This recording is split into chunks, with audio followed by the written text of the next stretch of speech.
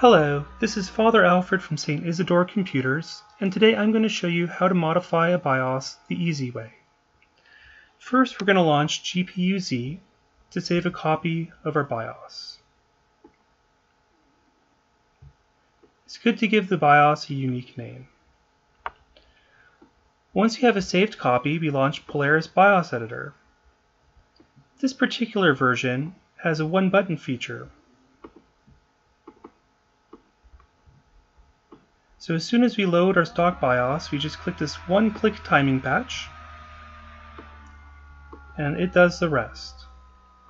Then save a copy of it, not on top of your existing stock BIOS. And it's good to give it a new name. Now that we have our modified BIOS, we run WinATI Flash as administrator.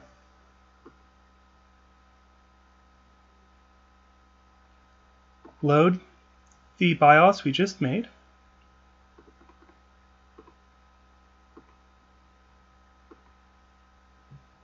And program it. Flashing is in progress, it may take a minute. Already done. Now, we reboot the computer and see what we get.